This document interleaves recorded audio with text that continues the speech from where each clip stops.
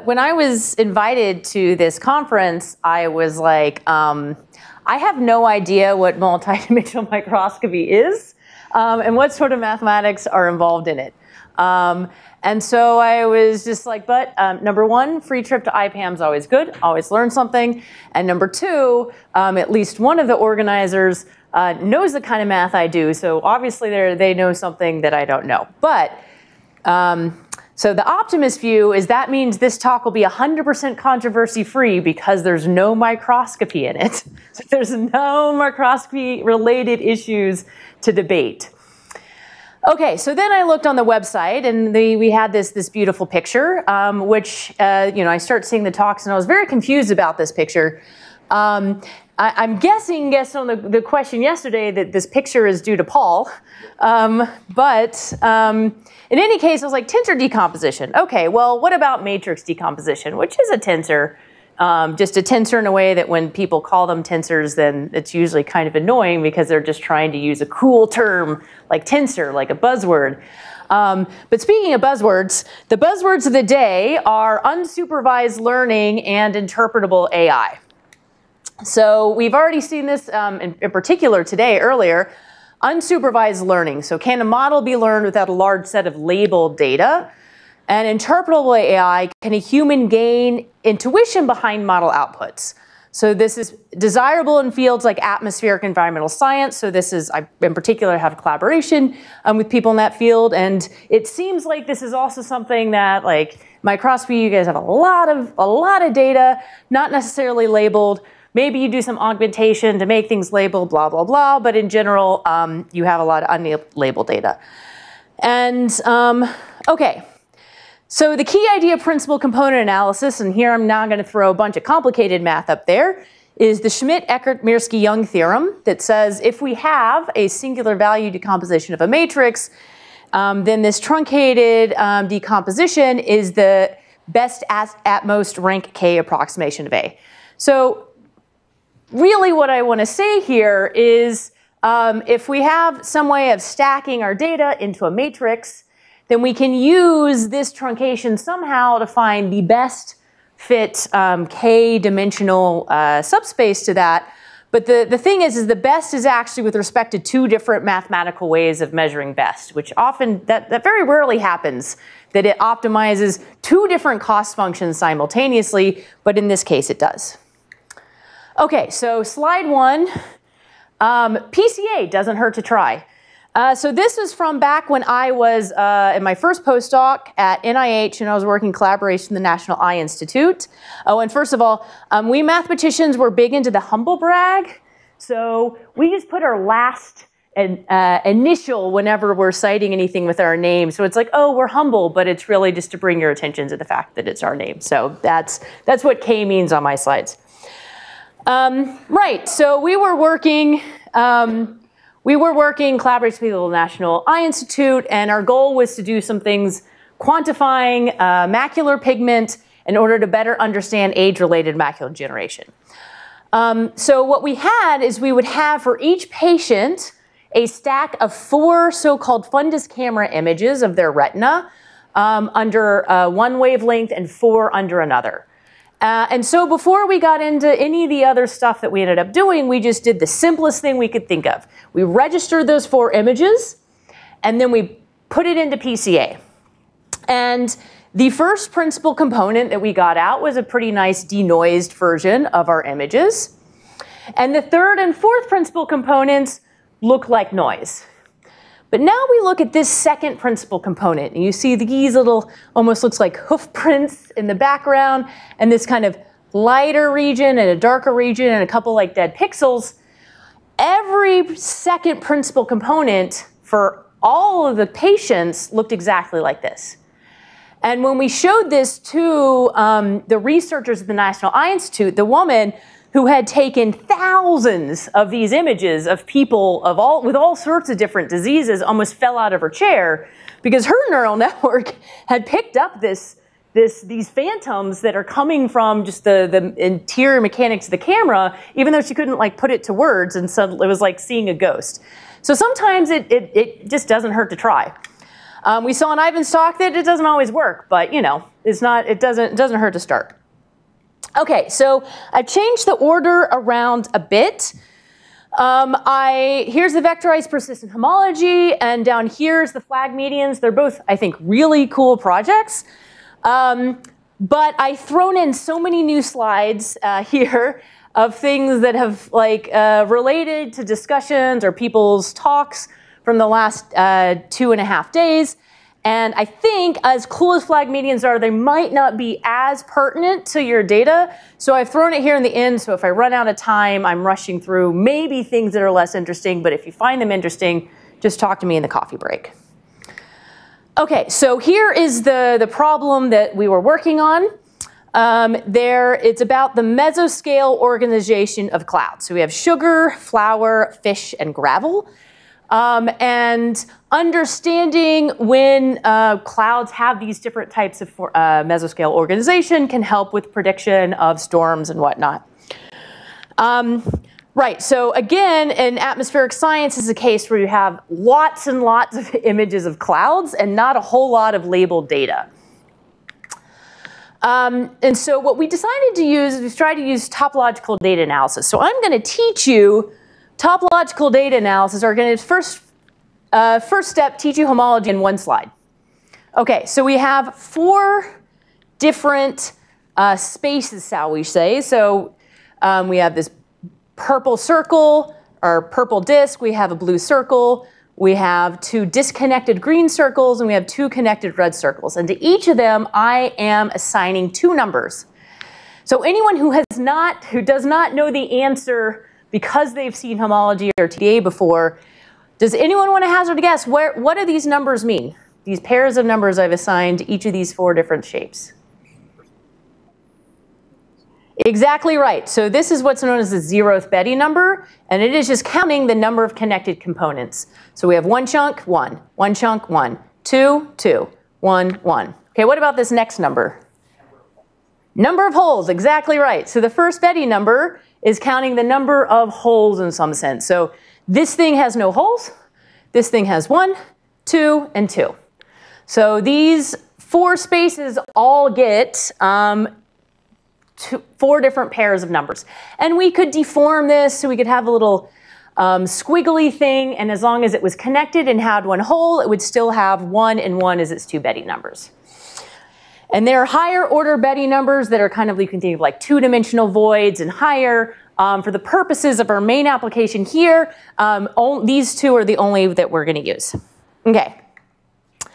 So the way that we're going to apply this is somehow we're going to learn Betti numbers, but over a sequence of sort of filtered images, and then we're going to look at what, what is persists um, in these sort of Betti numbers over that time. So we are going to use here what is known as super level set persistent homology. Uh, sub-level set is more standard, but for the clouds didn't work as well, so it's the same idea. Okay, with this very simple image here. And here we have four different slices of the things that we're sort of um, going to be analyzing. And what we're going to do, so this image is, has values between 0 and 255. And for each possible threshold, starting with 255 and going down to zero, we are going to look at the shape of all the pixels that are at least as big as that threshold. So here for 209, that is only encoding these very, very bright pixels here in this crescent. And now, um, this is going to be real hard. I'm just going to move over here. Okay, and so let me show you what we're looking at here. So the red is giving us things related to that zeroth Betti number. And the blue is giving us something relating to that first Betti number. So here at this vertical slice at 209, we have one connected chunk and we have no holes. So we should only hit one red bar, and we do. Okay, so now we lower the threshold, keep lowering, lowering, and then now let's look at our next snapshot, 151. So at this point, we've gotten bright enough or dark enough for our threshold that these two corners, the lower left and right, they're suddenly now um, bright enough to be included. And so if we look here as we have these, this, this barcode, we've now added in these two little red things because here the Betti number is three. And so we have three red chunks in that part. But you notice it's not going to be too much longer when we change that threshold till these corner chunks are merged in with our thing. So that's why these bars, these little red bars, are very, very short because soon they're going to be just merged into the big glob. Okay, now we look at the cutoff of 94, and at this point now, um, we have almost all the image, but except for this little annulus here and this little ring here. So we look at this point here, and we have two connected pieces. We have the white piece on the outside, and we have the inside. And then we, we finally have this blue piece here because we have a hole. So inside this white region, there is a hole. And so that's why we're hitting this blue bar. And as we keep going and going and going, weird things happen. So this is like, there's like some invisible tiny blue bars that pop up and some teeny tiny red bars that are like, meaning this little piece and this little piece. Yes? Quick question for understanding, like how do you count holes that are inside holes? So if like the inner structure had another hole inside of it, does this inner hole count towards yeah, so if there was like another nested, like let's say there's another like black stripe here, then you would have two. Uh, yes, it's two holes, but um, okay, so it doesn't matter whether the holes are sort of disconnected or inserted in. Yeah, so this is like what we had here. The disconnected holes and the connected holes, for the purposes of counting holes, are the same. In fact, if I took the surface of um, a donut, then that would have for the this B1, it would also have two. Because you could kind of think of it's like the inside of the donut, that ring, and then the out, this thing going around here, those are two rings. So even though that's something that's a three-dimensional object, it still, as far as 1D holes go, has the same 1D hole structure as these two, and then for these two, you can distinguish them by the fact that the other Betti numbers are different. And then for the, the surface of the donut, then there, that's actually going to have some non-zero high order things as well because it's a three-dimensional object. Okay, any other questions? Okay, cool. So the persistent barcode, I think, is the easiest to sort of initially see um, what is being encoded here. Um, and so it's called persistence because the original sort of focus on why it was created was the idea was, oh, you have noisy data and whatever traits persist, so this long red bar and like this medium blue bar are somehow true uh, traits of your data. Um, but now we're going to see that some of these short bars are actually really informative. And the, the, the noise in the, the bars can actually be very informative. But we have these barcodes. And then let me explain what this persistence diagram is. So we have this thing at infinity, this red dot. This is just saying it's encoding this long red bar. It says, hey, there is already always something here. So always something here, we're going to say that's just infinity because no matter what we threshold, there's something there. And now we see these, what we're doing is we're plotting birth versus death. So the x coordinate of a dot is when one of these bars start, and the y coordinate is when they stop. So for example, here, this little blue chunk that comes from us having a ring is, um, it started around 160-ish, so that's around that number here, and then it dies out here around, say, 55. And so that's the point. So you can't have anything down in this lower right because that means something died before it was born. So everything is up here, and the closer you are to this diagonal line, the shorter lived that feature was. And now let me show you how we get the persistence landscape. Okay, so we take the barcode and we sort of move these bars up. So for each horizontal bar, we're going to build a triangle. So we just move it up and then we build the right triangle, the, the isosceles right triangle that is kind of face down where the base is that bar. And we do that for all of them. We get something that looks like a mountain range. That's called a persistent landscape because it looks like a landscape. Okay, and now what we do is we kind of look at what are the dominant features. So If we are tracing our finger on the outside, we would kind of go up and down and up and down and up and down, and that's going to be our function one in this solid. And then we remove that function and we say, let's do that again. So now we're on these little dotted up and down, up and down, up and down. That's our function two. Remove those lines. Do the same thing, function three. so the idea is somehow this topology, this persistent homology is encoding information. But if we want to use it with almost anything, not just machine learning techniques, most math techniques, we need to have vectors. Like some list of bars, that's not very useful. Um, so one second. So how do we create vectors from this? Because if we have different spaces, they're not necessarily going to have the same amount of bars. Um, there's something you can do with persistent diagrams called persistent images that I'm not going to discuss because it wasn't good for our particular application. But what we do is we take this dominant function 1 and we measure it, sample it very evenly spaced. And then we take the next function and sample the values very evenly spaced. And the next one. So we have a parameter that we have to choose to turn persistent homology into a vector, which is how deep in the functions are we going, and how tightly are we going to space our measurements or sampling to turn this into to vectors. Yes? Uh, I didn't quite understand what the landscape is. Is it the envelope of the three functions, or is it well, the landscape, well, the, the basic landscape is this thing here, but then you can kind of add depth to it. So some people have these really nice 3D pictures where you kind of take the envelope and that's the, the dominant feature. And then the next level front is the envelope after you remove the envelope. And then the next level front is the envelope after you remove the envelope. Ah, okay. So this is basically like another dimension into the screen? Exactly you just remove these outer envelopes. And so then you decide, so it's a parameter you set, how deep, how many envelopes you want to go through when you're vectorizing. And you make that choice and apply that to all of your input. So here, if you notice, we didn't, we didn't go down like this feature doesn't show up at all. But maybe we decide that's not so important for us. Any other questions?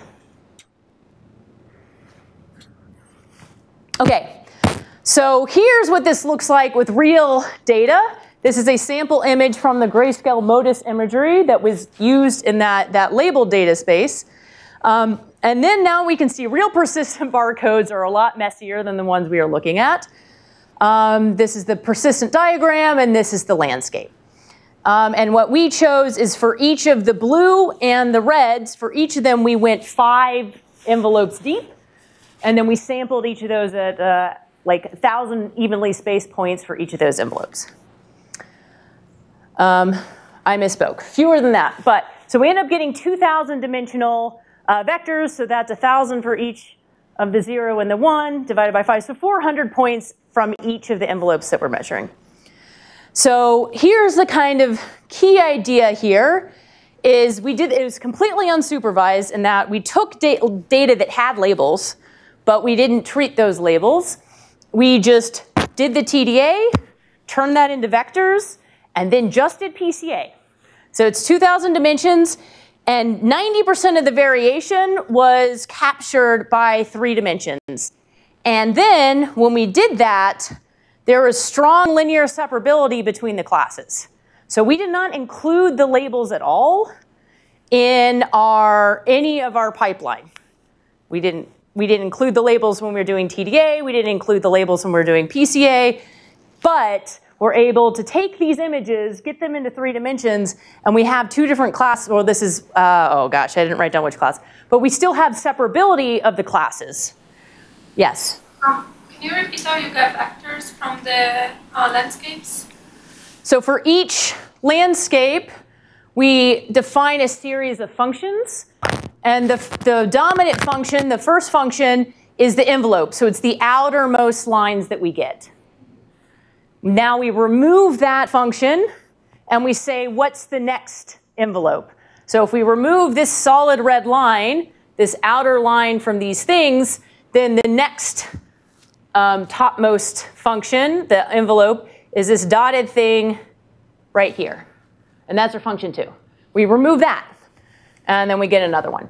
And we go as deep as we want, just make sure it's consistent across all of our data. Um, and then for each of those functions, we just read off what the numbers are and evenly spaced. So we were doing like every, we're sampling them evenly, yeah. Yes, there's a hand. Uh, what happens if you have two disconnected regions? You change the threshold and they connect. How does that show up on the barcode? Um, so, so you're saying if it's like we've got this da da da da. Yeah, but spatially, like two two things that are disconnected at one threshold and then connected later. Okay, so here, I was sweeping a lot of math under the rug. So it ends up that the way that this is computed with these, with these things called Vietoris-Rips complexes, which I did not want to talk about, but it's just this massive two-dimensional chain of vector spaces and maps between the vector spaces. Because uh, this is a very good question. It was the first question I had when I first learned about persistent homology. And the way that these things are encoded, it is sort of measuring like, oh, here's we, these points, and at this moment they sort of squeeze together and go from one hole to two holes, where at the same time this hole here to, squeezes together and the hole vanishes. Like that is, that is under the hood with the actual algorithm how this is actually computed. But yes, that's not an obvious thing, but it, it, it's, it's voodoo magic. I still don't actually completely understand it, but it is part, it, it is the way that it's calculated that that does keep track of things. But that's a great question. Anything else? Yeah? Is there some intuitive meaning to the fact that three dimensions captured most of the variance? Uh, so um, I've been talking, so this is collaboration with, I'll just point this out, this is Lander Ver Hoef, a very amazing doctoral student of mine, Henry Adams, collaborator who is a topologist, and Imme Ebert-Uphoff, who's uh, the collaborator we have in atmospheric science. And I've been talking with Henry, and I'm just like trying to figure this out, because it's like, obviously something of this is that there's some hidden structure. Because this literally was a, okay, we want to do TDA, and then it was literally like, PCA, let's just try it out. And then it was like shocking that it worked. I mean, like, I, I remember when, when Lander had the weekly meeting and showed us the plots, we were all like, wait, what? like, that shouldn't have worked. That was just like step one to give to the doctoral student, and then it worked. And like, it was, it was just like, oh, okay, that's, that's surprising. It was kind of like the, just regularizing with uh, total variation and it worked and you're like, oh. So I've been, one thing I've been thinking about maybe for some future work on the more theoretical side is trying to understand like the, like the realizability, like if, like there's some restrictions on what these things look like. And so then you would imagine there's some restrictions on what the possible vectors are. Maybe some of that's already explained by the possible vectors you can get out of it. I mean, certainly not down to three dimensions, but yeah, I, again, it's still not completely clear why that happened. Did you have a question? Yeah, I was just wondering, like, is this example, did you try just using PCA normally and it kind of completely doesn't work? Or like kernel PCA or other techniques like this? Well, I'm just trying to get intuition of like what what is this doing that like some of the really classical stuff. Because if you just do PCA, that's not taking into account any of the actual like geometric properties of things.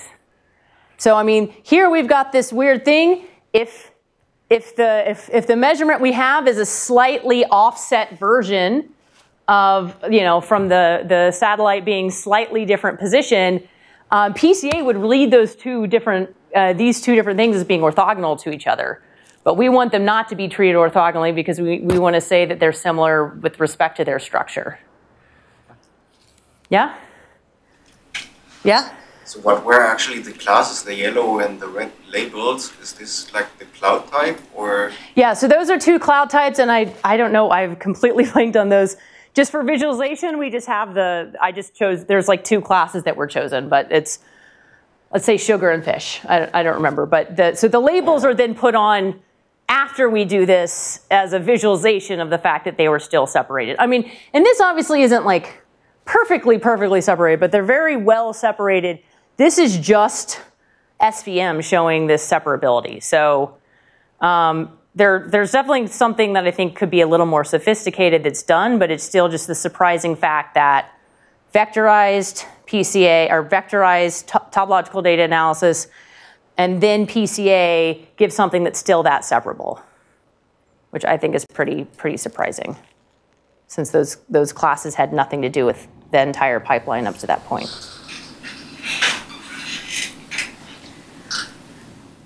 And we did do something that was completely unsupervised, which was we do the vectorized PC, uh, TDA and then um, the uh, PCA and then run clustering algorithms and look at different classes for that. It didn't come up with the, exactly the same classes, but like one of the next steps is like working more with the people in atmospheric science to actually see if it gave us something that was meaningful and interpretable. Cool. Any, any other questions? Cool. Okay, so um, with whatever time um, is left, uh, let's get started on other stuff. So these are all slides that I added mainly last night, um, just based on different interactions, different people's talks, whatever, um, math things that may be of interest. Okay, quick comment on more um, ideas of this persistence or mesoscale. So Brian and I have had a few offline talks where like mesoscale features just keep coming up again and again. Um, and if we're thinking about that sub or super level set persistent homology, then you could think of mesoscale being the bars that are really long. Um, so something that's on a larger scale than noise, but on a smaller scale than like curvature or average characteristics. So I'm going to give you two different examples. Okay, so this is um, persistent homology of point clouds, which is kind of like the first type of data that persistent homology is doing. So the, the other example, we were thresholding, um, we were looking at where pixels were that were above a certain threshold. And at each of those, those thresholds, we looked at the, the homology of it. Um, so in this case, we've got some data cloud. And I want you to ignore how weird this looks. I really, I was trying to find an example that was going to be the way I explained it. And this one's actually kind of showing a little under the hood of how this is computed. But the way you should be thinking about this is I have this data cloud. So if we are looking this as humans, we're like, hey, that looks like a figure eight. I should get some, the true topology of this should be um, the zeroth Betti number one, because it's connected, even though this is all disconnected points, and first Betti number two, because it has two holes. So somehow I want to have features that give me those two Betti numbers, one and one, to say connected and two holes. So ignore the way this actually looks. Think about, I want you to think about it this way. For each of these dots, what we're going to do is we're going to replace each dot with a ball of epsilon radius. And for each epsilon radius, we're going to union all the balls. And then on that union of balls, we're going to look at the homology of that space. So again, this looks all pointy, and that's just showing this underlying complex that's the way it's actually computed. But the, um, so here, again, it looks weird, but the, the actual homology of this space is going to be the same as if we had those little balls that are growing up. So um, when it's really small, we're getting all these little disconnected components. And we have these little holes that are popping up due to noise. So lots of disconnected components and lots of almost could, one could almost think of like little bubbles that are forming because we've got the noise. So we're going to have, so here this is H1, so this, is a, this isn't the connected components part, this is only for the loops. But yeah, we've got all these little short bars around here that's somehow encoding the noise. Um, and then as it grows, we're eventually going to get some persistent here. These two long bars are representing the two holes that are very stable. So the mesoscale organization topologically of this data point until finally it just becomes a big blob and there's, there's no more holes. And so then the persistence diagram version of the, the hole counting, we have these two dots that are far above that x equals y line. And then a bunch of these are close that's kind of just taking this to account. Okay, and the other mesoscale thing that I wanted to talk about is using PCA. Um, something called geometric multi-resolution analysis, which unfortunately has been used by mathematicians in a lot of different ways. So this is what I mean. Um, what I mean is local PCA plus multi-scale structure. So very hand wavy, the idea is if you have data that's on a manifold, so think of the surface of the earth or a circle or a string going through space, if you zoom in really, really close, it looks like it's linear. So if I have a piece of string that I'm wrapping around through three space, if I get really, really close, if I'm an ant on that string, then I think that little piece of string is just a flat little line segment. And maybe I go on YouTube and make videos about the flat string theory or something. But the point is, is that very, very close at very, very low scale, it looks like a little flat thing. and little flat things are what PCA is made to be able to pick up. It's really good that we got the Eckart, Schmidt, Mirsky, Young theorem that says, hey, if we've got data and it's near something flat, that's the way to find how it's flat. So the idea, and I don't want to go too much into this, but it's, it's from people who are coming from a harmonic analysis background, or they, they think about things in a multi-scale structure, but it's basically you partition the points at a small scale, and at each of those levels you do local PCA. Then you partition the points at a slightly larger scale, and at each of those partition points you do local PCA. And you keep growing these things out, and with the algorithm there's kind of a smart way to connect these things up. Um, and then the idea is there's some sort of persistence of the, um, there's some sort of persistence of the significant singular values you're doing while you get the PCA. And there's sort of a linear persistence that has to do with the actual uh, local dimensionality and a sort of quadratic one that has to do with the curvature. Yes? Um, how does this relate to like isomap? Like, So- also, isomap is also using this kind of fact that manifolds locally are an Rn. I mean, any nonlinear dimensionality estimation technique is going to be using the fact that, leveraging the fact that a manifold is locally something that's linear.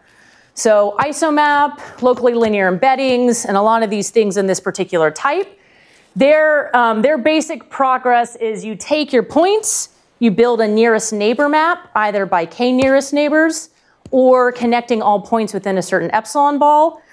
Once you have that, then you turn it into a matrix, which what kind of matrix you turn it into is very much dependent on, is it LLE, is it isomap, is it this other thing? And then you do some sort of eigenvalue decomposition of that matrix. So number one, that is, it's a slice at one level, like you choose a k nearest neighbors and you choose an epsilon, and that is like the slice that you're doing. Whereas this is really about persistence. So kind of at each level, you're getting something different. Maybe you could try to do a persistent LLE. That I don't know if that exists in the literature. That could be something you could do, but it is most most things somehow are using some sort of matrix decomposition for these nonlinear. Not everything, but many of them are. Now this is this has come up already in this conference. Um, well, this is going on YouTube, but uh, the code that's associated with this is not very usable. It's a great idea. Um, it would be great if, if someone else implemented it again because it's tied into some other previous code, so it's like I think a little little more bogged down than it should be. But the idea I think is really super cool. Okay, any other questions?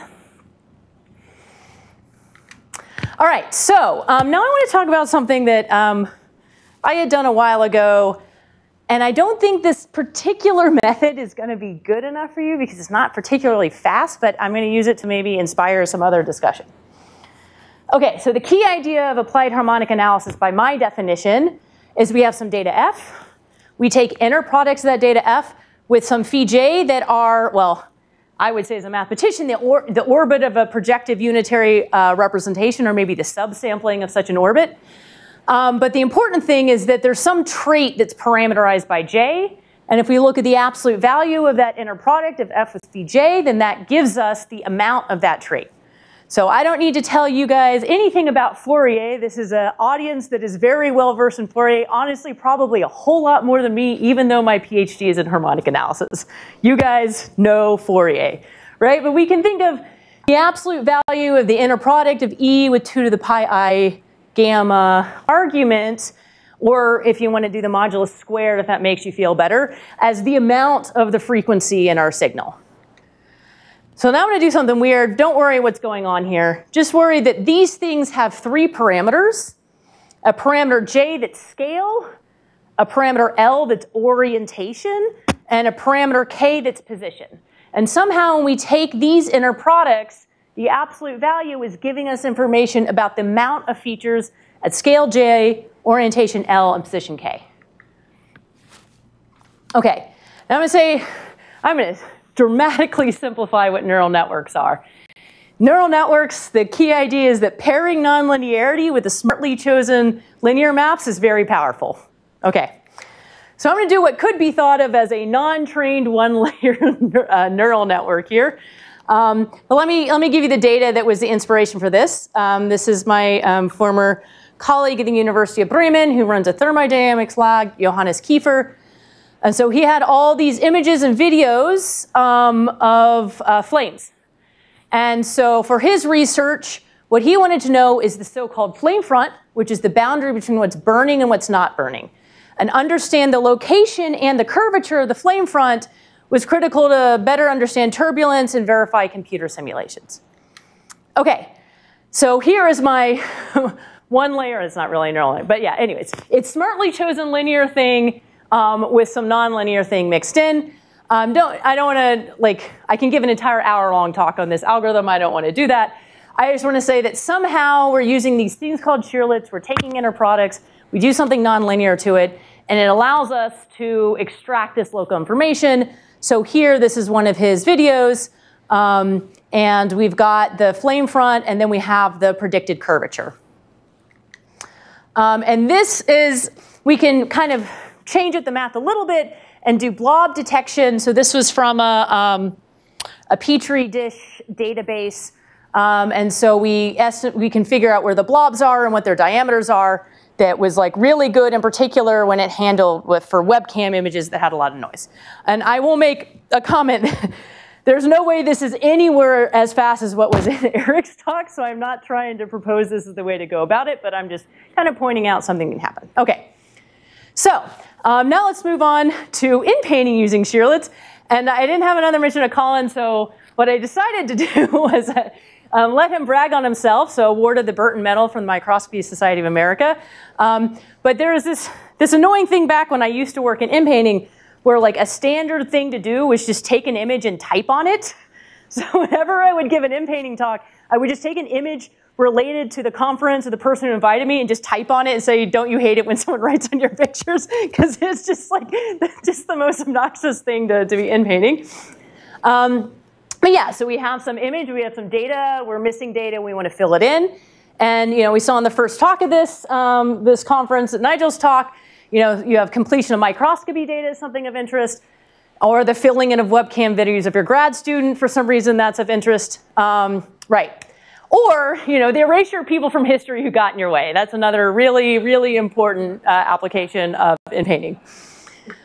Okay, so the key idea here, and again, I'm not pressuring this as being the right algorithm. I just like, you know, tying in some of my old research. Okay, um, but this does kind of connect to Nigel's talk. It was still not 100% clear because I missed half of it doing teaching, but the key idea for the approach that I had worked on was We've got these two nice dictionaries that are incoherent to each other, but coherent to different desired structures in the data. So what we would choose is something like shearlets, which are good for like big geometric structure, and something like discrete cosine basis that's good for texture. And they're incoherent to each other, but they're picking up like the cartoon-like and the texture-like parts of the images. And then we're leveraging that to do in-painting.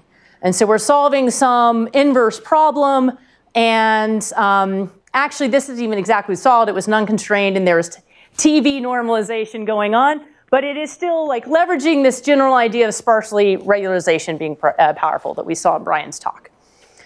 Okay, so first I want to say like really high degraded things is actually pretty easy. And I, I so this was like not a, like, okay. Anyways, this was just an MS thesis from the group and just kind of dumped it in and you can get this SSIM is a pretty good measure for um, perceptual similarity of images. It's pretty high. Unfortunately, the quality of the image that I took um, from her thesis, because it was just like cropped it out. I didn't have, for some reason, the original data from her. But it's this was not like super like hard to do to get pretty good filling in when and things are, are done. And Juan Carlos had to leave but he was like so excited when he saw that level of degradation. And I'm like, that, I told him, I was like, that's actually easier. To me, the fact that he was doing it real time is the interesting thing. Because the, the idea is when you don't have big gaps between what's missing, that's like almost any algorithm will do kind of okay in painting. But let's look at some gaps. And the reason I want to do this Um, I, am not going to show an algorithm that's great, but I, it's just kind of related to this conversation um, that we were having about what is right and what is not right. So uh, I have a mystery image here of some coral, and I've masked it out, and I used, this is back from 2013, just me uh, tooling around. So pre, like having generative in-painting sort of neural networks to play with, um, these are just some standard approaches from back then. And um, yeah, so these two look a lot better than this one. This is actually not quite as sophisticated as the technique from the previous slide, but um, this looks all scratchy. Okay. Um, and then we see the original image, and here's what I want to do is we're going to zoom in, and we see these were the ones that were the better ones, but they have created completely different structure than what's happened. It's like they're really sure. And we with neural networks, it's even worse. Like they're going to power through and they're going to make a picture that looks really good, but the structure, which this kind of structure seems to me like the kind of structure that this audience might care about, and this thing looks really good, but then like this hump here is gone, that's now a channel. Um, there's just all of these different things like that little piece, that connector there is gone. Whereas this one is blurry, but somehow it didn't add new, um, any new structure. It's like less certain, but like, you know. Here's another example. This is from, um, oh my gosh, seismic uh, sensor data. Um, we just kind of did some vertical line masking. And again, you zoom into the original and you look at these that look a little bit better. And like here, this blue line is consistent. And now suddenly it's broken by this red blob. Um, so kind of just tying into that discussion after the talk, like what is real? So neural networks can give us stuff that looks good, but maybe, maybe that's not exactly the way we want to go. Okay. Um, so uh, the last little y'all science question mark thing is geometry of adversarial attacks. This is also kind of like how, how well can we trust neural networks? Okay, so images input to neural networks performing classification tasks may be slightly perturbed to cause a network to strongly misclassify them. So this is kind of related to the discussion after Willen's talk. So if you think about if we train a neural network, we're using it, uh, we're training it on some images that are in some data class that if we could classify easily mathematically, we would, that, but we can't. That's why we're putting it to a neural network.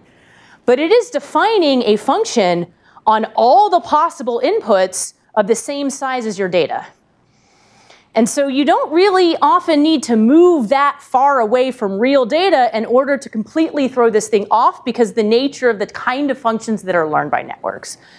So I'm going to start with a very classical, if you've seen adversarial data, you've seen this picture from uh, Goodfellow, Shlens, and Szegedy in 2015. Oops. So what we have here is we have a panda, and the neural network originally, so this is from GoogLeNet, um, which is not really the cutting edge anymore, but it only had 57.7% confidence that that's a panda. And then we add this noise, which it has low confidence as a nematode, and what we get is a gibbon with 99.3% confidence. So it's not only changed the class, it is, it is way more confident that it's the wrong class than it was that it was the right class. And this is I mean, part of it, these, these pictures were a lot more lower quality. So at this point, it's such low quality, I can't, I, I can't even tell the difference these two. Okay, so this is from a more recent paper that um, series of papers, and actually this is my, my researchers and I have been, like colleagues and I have been working on understanding this. It's called DamageNet. Um, so this one right here, I'm putting hair in my microphone. Okay, this one right here was, was um, designed using what, knowing what the neural network was. This is a black box adversarial attack algorithm. So it was not designed or trained with knowledge in the neural network. I mean, the neural networks are out there in the public, but that was not in the training. They kind of, they, they use this, uh, this is attention mechanism. Um, so there's certain ways that neural networks learn things that are just a consistent type of thing. So they make like a proxy neural network and train adversarially on that. Because a lot of networks now have like prevention from people giving it too much data at once to try to prevent people from being able to train adversarially. You make this proxy network that's built using things that seem to be a uniform way that neural networks learn. Then you go back. And so these five VGG, inception, inception resnet, resnet, Xception. There's like different numbers for different ones. These are like pretty state of the art neural networks trained to classify this ImageNet database uh, things. And so here we, on the left, we have this salamander, and all of them correctly identify it as a salamander. And then on the right, all of them are changed. So three of them think it's a bonnet, like a head covering.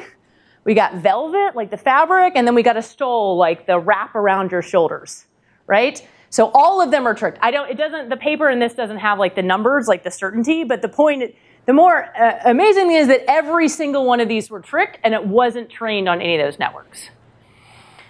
So, um, just an interest of mine right now is in leveraging manifold and polyhedral geometry and graph theory to better understand the success of adversarial attacks and maybe protect against them. So this is, uh, we ordered the PIs alphabetically and then there'll be various permutations of the grad students and postdoc. Um, we've got one that's ready, but want due to someone's funding, we have to wait to post it, and then more on the way. Okay. So I think I only have a few more minutes. Um, okay, you know, I'm just gonna like start. I'm not even gonna tell you the application, even though I think it's cool. You can ask me about it later. But um, I think it's just a fun little algorithm that some of you might be familiar with already. Um, okay, so let's say we have some data set that maybe it's one blob, maybe it's a union of disjoint blobs.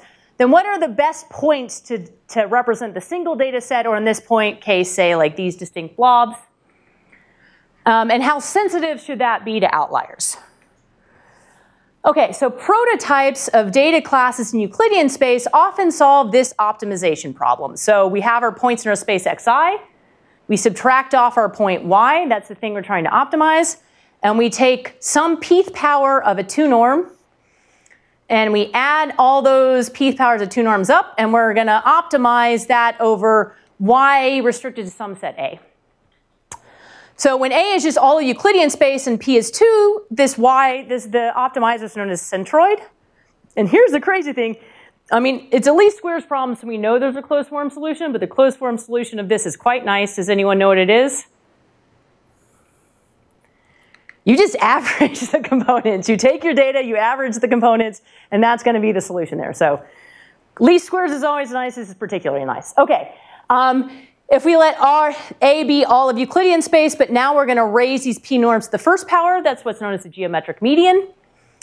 And if we restrict to our data set, but we're still only raising the first power, that's what's known as the p uh, medoid. And obviously the p equals one things are somehow, there, we're using the words median, medoid, suggestively because it means they're going to be more robust to outliers. So if we have points that are further out, these things are going to be a little more robust. And so p equals 2 is a closed form solution, and p equals 1 is less sensitive to outliers. Um, so I'm just going to end with the Weiszfeld algorithm, which is not what my research was about, but I just think it's a fun uh, idea. So key ideas. Finding centroids is easy. I know how to average things. Um, more generally, I know how to solve least squares. Um, other key idea, this, is, this might not be immediately obvious, but it is actually true that whatever the solution y to the geometric median problem is, it satisfies this equation. Now we can't solve for y here, y is mixed in in all these different places, but it does satisfy this equation. So we're gonna use these, leverage these two things. So given our data set, we're gonna compute this till it's converged. We're going to solve a weighted uh, least squares problem, which in this case, our least squares problem is just taking the component-wise average. And, but instead of taking the component-wise average of the vectors, we're going to take them of weighted versions of themselves. And these weights that we get are just coming from this very classical technique that if you have some implicit function involving what you're trying to optimize to, you just use the right-hand side of that function to give you your next iterative step. And so you do this, um, and then, you know, when you're lucky, it converges to this median. And such algorithms are called iteratively reweighted least squares, IRLS, which um, Sandra briefly mentioned on one slide in the middle as like a technique that was being used to solve a problem that she had. And this is you know, from 30, 37. Um, and now I think I've reached uh, my time limit, so I'll just say you can do this cool thing with like subspaces, so not points, but actual full subspaces, um, generalize these things. Um, the, in this case, the least squares thing involves a principal component analysis of some special matrix, and then we make a, a median version, and cool things happen. We can do some things in computer vision. Um, so I'm going to finish this up by saying um, reports of my death are greatly exaggerated. This is a PCA here. And thanks for your time and the trypophobia I have now from seeing all these quasi-periodic pictures of the last couple of days. Thank you.